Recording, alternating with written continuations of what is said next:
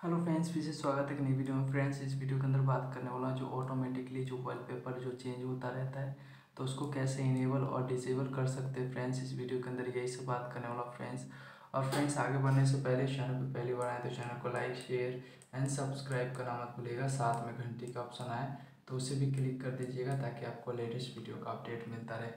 तो चलिए जानते हैं कैसे आप ऑटो कॉल ऑटो स्क्रीन जो चेंज होता है वॉलपेपर आप चाहे तो इससे भी बढ़िया बढ़िया आप सेट कर सकते हैं फ्रेंड्स इस वीडियो के अंदर यही सब बात करने वाला हूँ। अगर इस चैनल पर पहली बार आए तो चैनल को लाइक शेयर एंड सब्सक्राइब करना मत भूलिएगा। साथ में घंटी का ऑप्शन आए तो उसे भी क्लिक कर दीजिएगा ताकि आपको लेटेस्ट वीडियो का अपडेट मिलता रहे।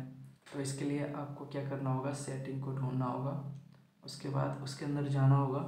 उसके बाद आपको इस तरीके का इंटरफेस दिखेगा, उसके बाद आपको क्या करना है फ्रेंड्स यहाँ पे बहुत सारे ऑप्शन दिखेगा लॉक स्क्रीन थीम और यहाँ पे बहुत सारे ऑप्शन दिखेगा।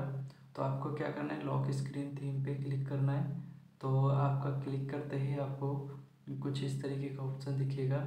उसके बाद आप देख सकते हैं माई वॉलपेपर बहुत सारे शो वीडियो बहुत सारे ऑप्शन दिखते हैं। आप चाहे तो वीडियो भी लगा सकते हैं लॉक स्क्रीन पे।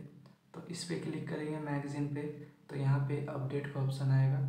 तो यहाँ से आप अपडेट कर लीजिएगा, चेक कर लीजिएगा वर्जन वगैरह। तो यहाँ पे कोई भी अपडेट लिखा आ रहा है यहाँ पे डाउनलोड का तो मैंने यहाँ पे डाउनलोड कर दिया है। और यहाँ पे आपको डाउनलोड ऑप्शन सक्सेसफुली दिखा देगा।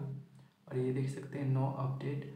उसके बाद ये ऑन कर देना है। ऑन करना ज़रूरी है, क्योंकि ऑन नहीं करेंगे तो कैसे पता चलेगा किसमें क्या है? तो मेरा ऑफ़ हो गया तो इसको मैं ऑन कर देता हूँ। अब यहाँ पे आप यहाँ पे चेक करेंगे तो आपका वॉलपेपर है जो कि चेंज हो चुका है। और जब भी आएगा, आपका दूसरा दूसरा वॉलपेपर आएगा ऑटोमेटिकली तो फ्रेंड्स कैसा लगा वीडियो प्लीज़ कमेंट में ज़रूर बताइएगा। मिलते हैं ऐसे इंटरेस्टिंग वीडियो के साथ। तब तक के लिए नमस्कार एंड गुड बाय